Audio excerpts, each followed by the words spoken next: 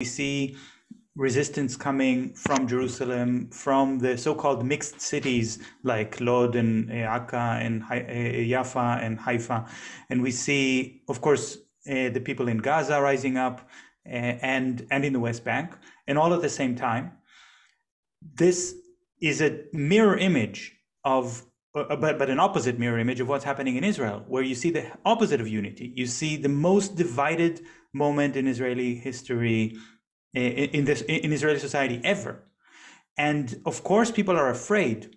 But what we see is that Palestinians, despite being afraid, are rising up with, with a, a straight back and uh, fighting back against impossible odds.